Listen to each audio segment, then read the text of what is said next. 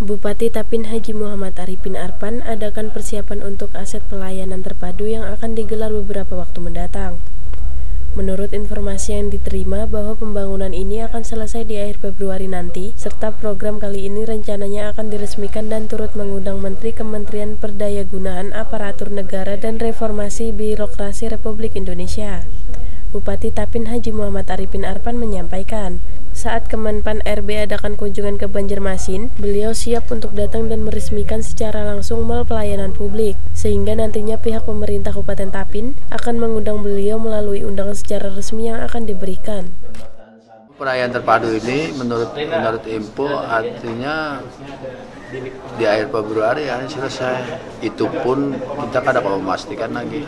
Tapi program kita sendiri kalau besok itu kan itu diresmikan, kita akan mengundang Menteri Menpan karena saat Menteri Menpan kunjungan ke Banjarmasin, beliau siap datang sepanjang kan SC-nya yang diresmikan itu benar-benar kan selesai.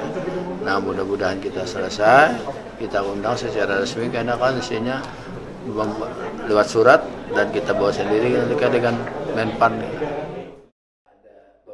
Gunawan, Tavin TV.